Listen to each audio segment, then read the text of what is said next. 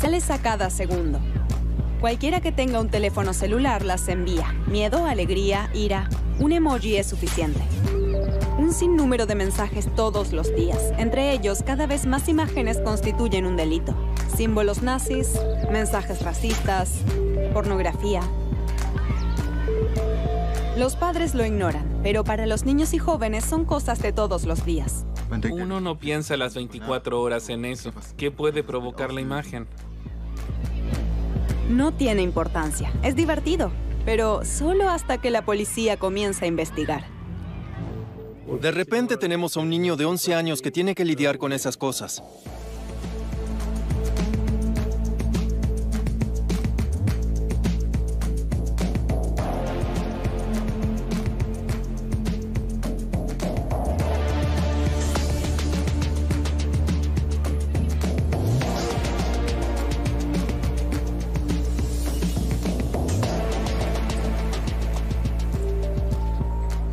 La escuela de Hatten, en Baja Sajonia, tiene 800 escolares entre quinto y décimo grado.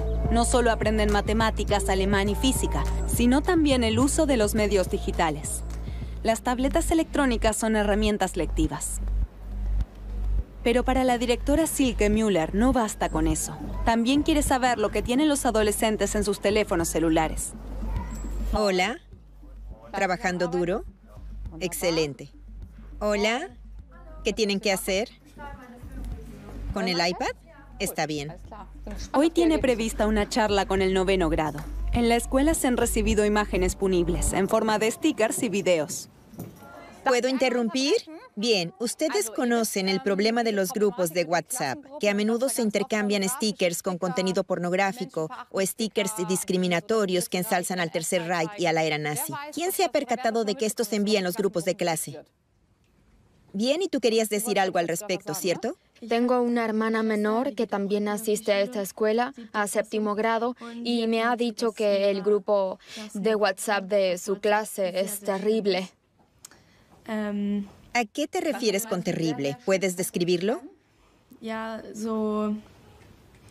Sí, se muestra a gente desnuda. Es decir, contenido pornográfico. Sí. Y me parece realmente terrible que en séptimo curso ya comiencen con eso. Unas veces es pornografía, otros contenido violento, en todos los cursos. También en una clase paralela a la de ustedes, donde me contaron que intercambian videos que hacen apología de la violencia, también con animales. ¿Pueden decirme algo sobre eso? Allí se agarraba un perro y lo golpeaban en el piso y ese tipo de cosas. No lo miré hasta el final, solo lo vi hasta la mitad y entonces lo dejé porque me pareció terrible.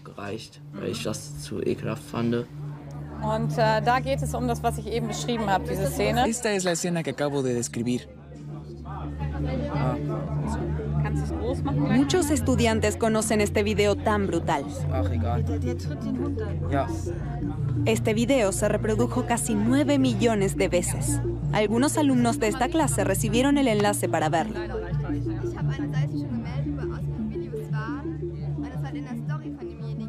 ¿Cómo te sientes cuando ves esto? Casi me puse a llorar. Tengo dos gatos y odio cuando patean a los animales o los maltratan. Lo odio. Tenemos permiso para filmar aquí en Hatton. No es algo habitual. Sin embargo, Silke Müller quiere informar de lo que ven los estudiantes todos los días en sus teléfonos celulares. Un problema en muchas escuelas, pero sobre el que casi nadie quiere hablar abiertamente.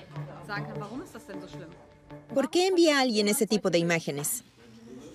En Instagram, tal vez porque alguien quiere obtener clics y likes con ello. Sinceramente, no entiendo cómo se puede ser tan estúpido y reenviar algo así. A los escolares les gustan especialmente los stickers. Incluso los puede crear uno mismo. Pero muchos aparecen de repente en los grupos, no se sabe de dónde. Entre ellos, también imágenes punibles. Un alumno nos muestra voluntariamente su celular. El joven de 13 años asegura que no tiene nada malo. Por eso nos sorprende lo que vemos. Aquí hay un sticker de Hitler. Bien, no sé nada de eso. Adolf Hitler, mejor jugador. Seis millones de asesinatos. Limpiador de inodoros. Es un niño negro, ¿cierto? Mira desde el asiento del inodoro. En realidad, yo no miro ese tipo de cosas. ¿Por qué no cierras el pico? Eso tampoco es un mensaje muy agradable. Nos cuenta que a veces recibe 200 mensajes al día. Recibo un montón de stickers. Es muy incómodo para mí porque no sabes lo que hay en tu celular. Intento eliminar todo lo que puedo. ¿Crees que provoca algo en ti ver esas imágenes? Creo que al principio sí que genera algo, pero después te acostumbras y es malo acostumbrarse a eso. Recibió su primer sticker con 12 años. En el pasillo de la escuela hay una exposición sobre la juventud en tiempos del nacionalsocialismo. ¿Y en su tiempo libre se envían stickers nazis? ¿Cómo se explica esto? Silke Müller se hace esta pregunta casi a diario. Las escuelas no están preparadas para que imágenes de maltrato animal, violencia, pornografía y Hitler sean parte de la vida cotidiana de niños de 11 y 12 años. Nos sentimos cada vez más impotentes. No tengo respuestas a muchas preguntas. Me preguntan qué es lo correcto, qué deberíamos hacer, querida señora Müller. Pero veo que es necesario y no voy a rendirme porque aún tenemos la oportunidad de transmitirles algo a los niños. Tenemos una cita con una abogada en Rostock. Hace años que intenta preparar a los jóvenes para el mundo de las redes. En seminarios en línea les explica qué está permitido y qué no en Internet. La consultan de escuelas de toda Alemania. Todos buscan respuestas. Hoy se conecta con 10 escuelas al mismo tiempo. Esta es la lista. Hoy estarán presentes escuelas de Renania del Norte-Westfalia, Renania-Palatinado. ¿Llegan a estar todos los estados federales? Sí. Si llega el día en que todos los estados federales participen al mismo tiempo en un seminario, creo que abriré una botella para celebrarlo. Pero ahora participan cuatro o cinco estados, desde Schleswig-Holstein hasta Baden-Württemberg. ¿Es un problema en todo el país? Sí. ¿En todo tipo de escuelas? Sí. ¿No se puede decir que en el bachillerato, No, no. por ejemplo, no lo sea? No. ¿Cuándo se considera delito una imagen que tal vez pretendía ser solo una broma? Ahora hablarán de ello durante hora y media. Buenos días a todos desde Rostock. Están participando 10 clases de cuatro estados federales. Mi tema de hoy es derechos en Internet y el uso de teléfonos inteligentes. Tenemos stickers. Probablemente estén familiarizados con ellos. Este es Hitler. Y Hitler fue responsable de la muerte de millones de personas en cámaras de gas durante la Segunda Guerra Mundial. Y cuando leo aquí, a ti te meter en la cámara de gas el último por ser gracioso. Honestamente, algo así no puede compartirse. Sé que hay muchos, muchos que en realidad no quieren ver algo así. Están en contra. Pero la mayoría no dice nada. Y eso no está bien. Digan bien claro que no quieren ver algo así. Eso no se puede ni se debería compartir. Y en caso de duda, abandonen el grupo, salgan de él. Y también hay stickers como este. En esta situación directamente tenemos que hablar de delito. Esvástica, saludo nazi. Compartir algo así constituye un delito. Lo mismo aplica a la insignia del partido de Hitler. Esto es punible, incluso si se trata de una figura de cómic, el saludo nazi o una esvástica, y para ser honesta, no comprendo que se compartan este tipo de stickers. La ley es clara. Sin embargo, no todos los escolares que envían este tipo de stickers pueden ser perseguidos penalmente. En Alemania solo pueden ser juzgados los mayores de 14 años. Para Gisa Stockman es importante que todos los niños sepan lo que pueden y no pueden enviar. Nunca se explica el aspecto legal.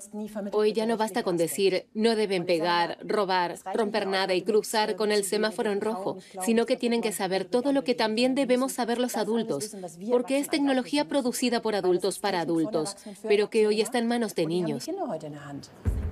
Gisa Stockman quiere mostrarnos los stickers que ha acumulado a lo largo de los años. Muchos son repugnantes, otros son crueles. No todos constituyen un delito. Tiene muchos ejemplos en su ordenador.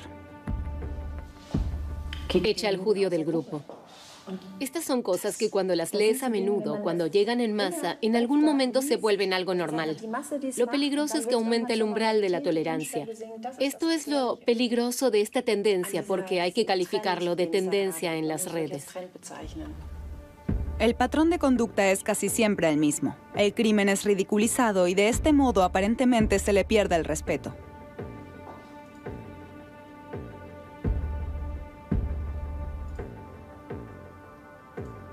Esto lo tiene todo. Es racista, es misógino, incita al odio contra un sector de la población, es antisemita. ¿Esto lo comparten estudiantes de quinto grado? Sí, pero también hasta el grado 12 o 13. No tienen reparos para compartir algo así. Precisamente de esto se trata en la escuela de Hatten. Una imagen de pornografía infantil que se propaga muy rápidamente. Un adolescente recibe la imagen y la reenvía. Pasa de una clase a la otra. Y en pocos días la reciben cientos de niños y adolescentes.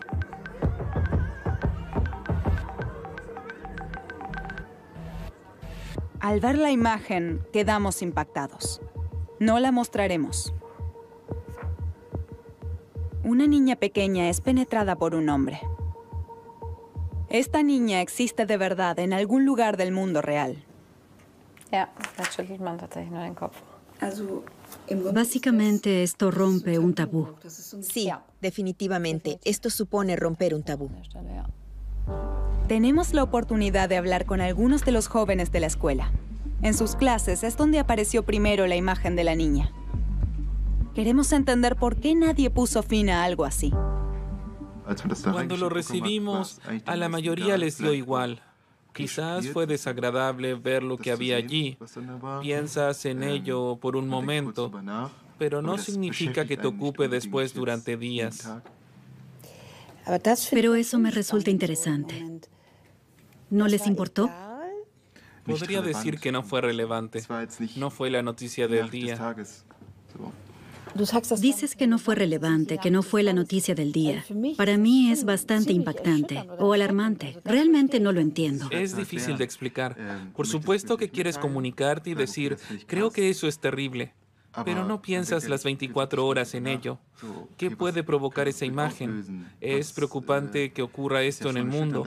Piensas en ello durante cinco minutos, se lo envías a tus amigos, les dices, mira, esto es terrible, y hablas de ello un momento y entonces pasas la página.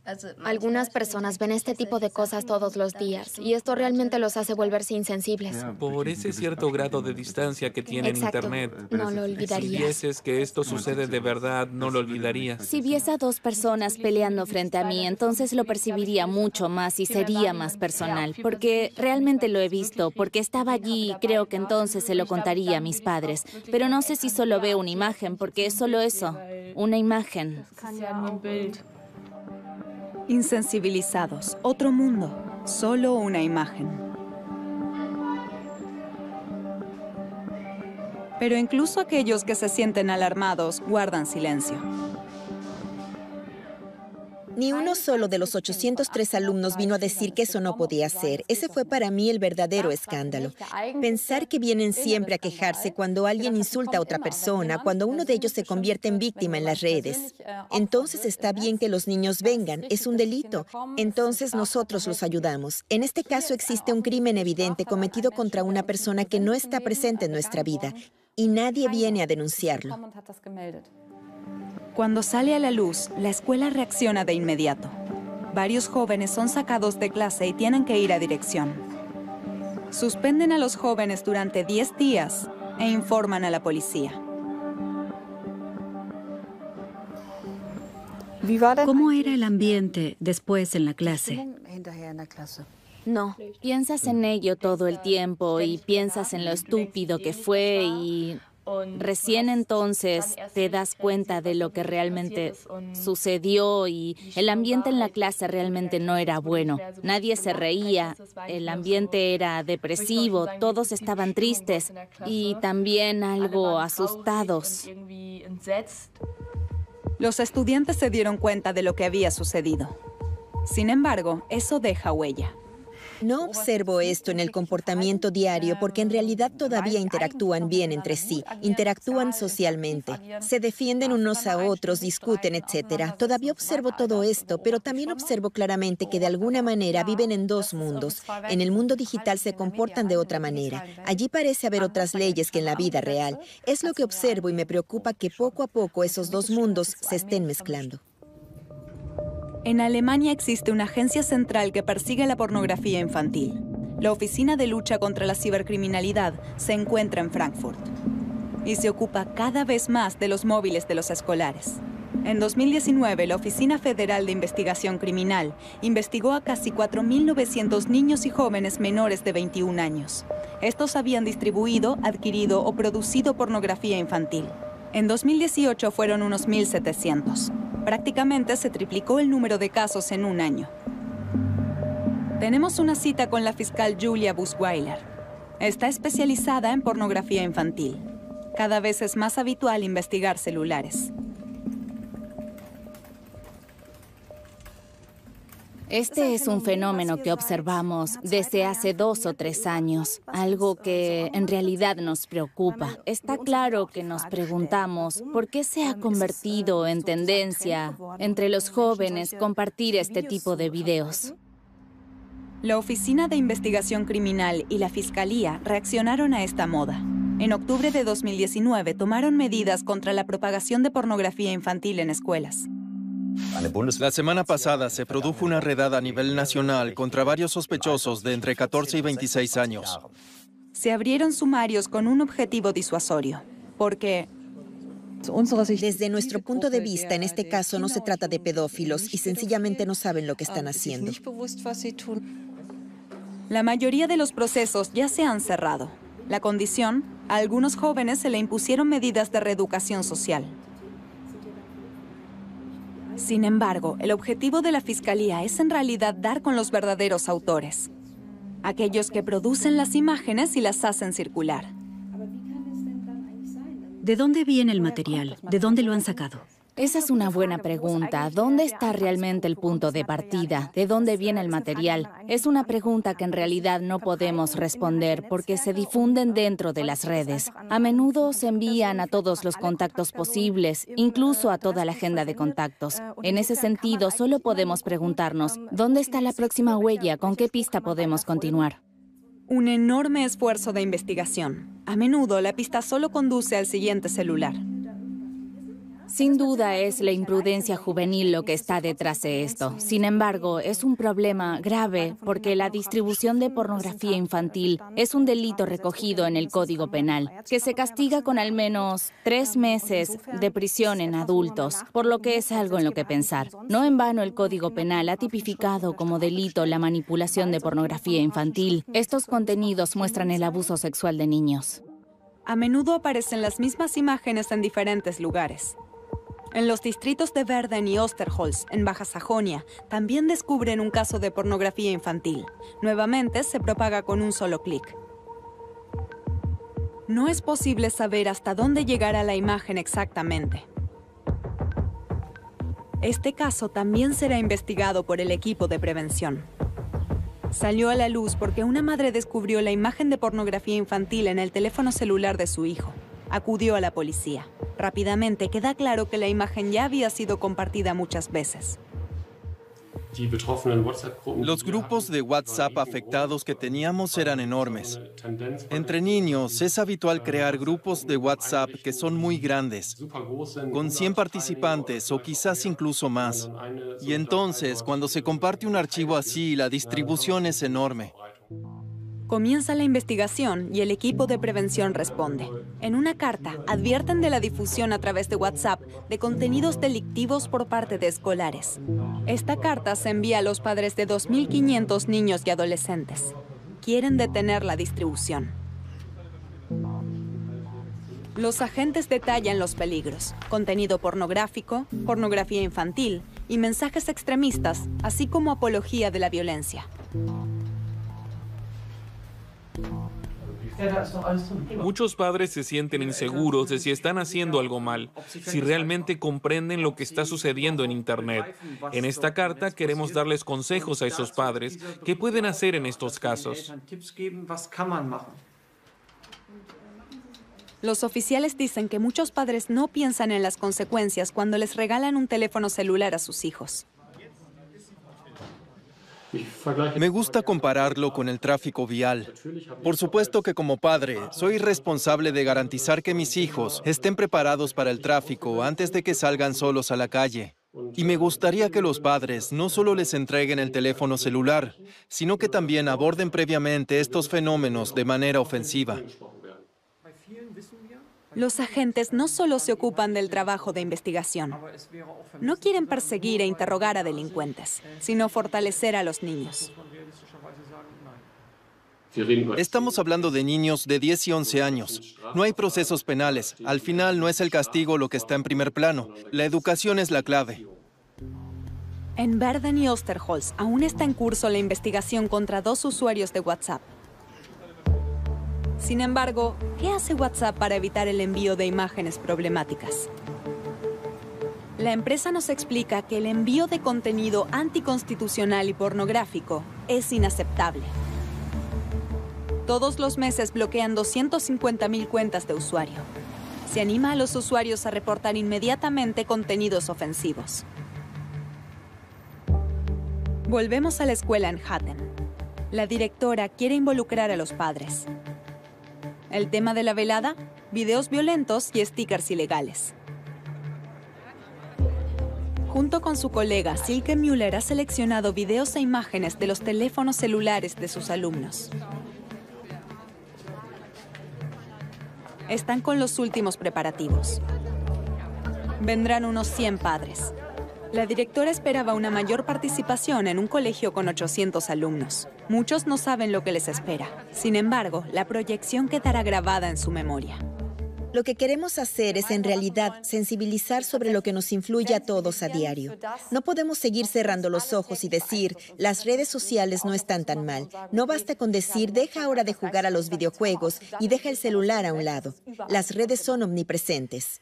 Si no puede soportar las imágenes porque se trata de maltrato animal, cierre los ojos. Muestra un video de maltrato animal. Un hombre arroja a un perro a una olla con agua hirviendo.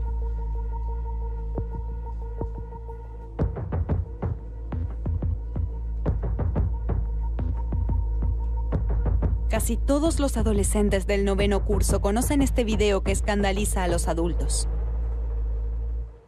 Sus hijos ven esto. Algo sucede en sus cabezas. Y ahora pasaré al siguiente tema. Ya conocen estos stickers, al menos yo los conocía. Saludos al grupo de WhatsApp.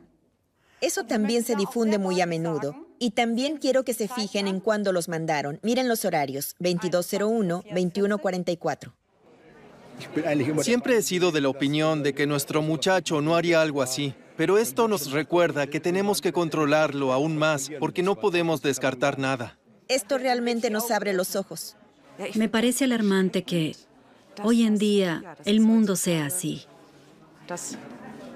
Que esto sean los medios, que esto no pueda detenerse, que haya que lidiar con esto. Es muy importante para mí, señoras y señores, decirles esta noche, no se trata de la escuela, tampoco de los padres, y tampoco de, oh, de nuevo los padres de este y aquel. En este punto debemos tomar una decisión y esta comienza con las cosas pequeñas.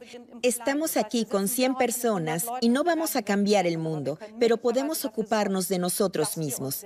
Intenten entender lo que hacen sus hijos. Ese es el primer paso. Ahora tengo que actuar. Es el momento. Esta noche nadie sospecha que en pocas semanas los padres se confrontarán con una situación mucho más difícil. En marzo comienza la crisis de la COVID-19. Ahora el teléfono celular se vuelve aún más esencial. Los encuentros e intercambios tienen lugar casi exclusivamente en la red. Nadie en la escuela se entera de lo que se envían los estudiantes. Casi nadie habla de reglas claras en las redes sociales. Para mí es importante, y esto es lo que he estado defendiendo desde hace años, que no solo nos centremos en la tecnología y la transmisión de conocimientos informáticos e inteligencia artificial, sino que nos enfoquemos particularmente en la ética digital y digamos, gente, la comunicación en las redes sociales es un tema de nuestro tiempo y tenemos que abordarlo. Esa es una misión educativa y formativa. Tenemos que meter el dedo en la llaga. Silke Müller siempre ha metido el dedo en la llaga y esto ha ayudado a sus alumnos. Creo que nadie sabía que esto era un delito y nadie contaba con ello. Y entonces, cuando de repente conocimos el alcance de todo esto, entonces comenzamos a reflexionar más sobre lo que enviamos, sobre lo que hacemos en Internet.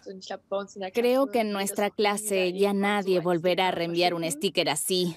Y tampoco en las demás clases. Todos entendieron la lección. Creo que ahora todos saben lo estúpido que es algo así que no se hace. Silke Müller también ve algo positivo en todo esto. Sus estudiantes ahora buscan hablar con los otros. Hablan sobre las reglas de juego que valen en el mundo digital y en el real. Ahora están mejor informados que muchos adultos.